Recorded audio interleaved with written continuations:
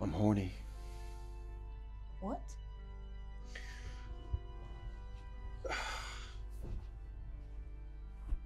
I invited my girlfriend to come over, but she said she's busy and won't be able to make it. Sorry about that.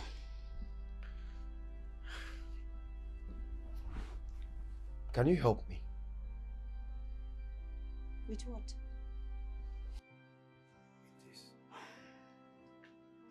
Please. Please. Okay.